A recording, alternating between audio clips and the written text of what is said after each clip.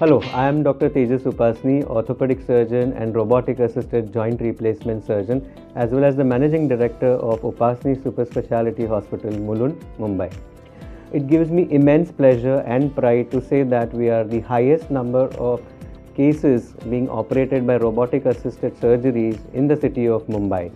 Uh, our center was the first to get robotic assisted surgery in Mumbai by taking the Navio machine in the year of 2019 and later after two years we also upgraded to the Cori machine.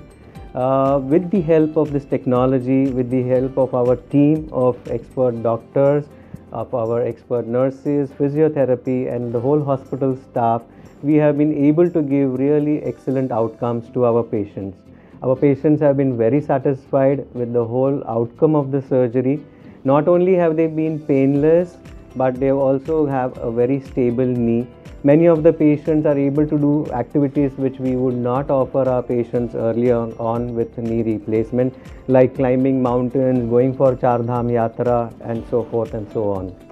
So, again, I really, it gives me a lot of pleasure and lot of happiness that we embrace this technology earlier on of using robotic assistance while doing a knee replacement surgery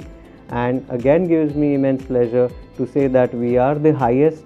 performer of robotic assisted knee replacement surgeries in the city of Mumbai and thank you to all my patients and all our staff also who have shown great faith in this uh, technology as well as it's helped us to give uh, more uh, satisfaction to our patients.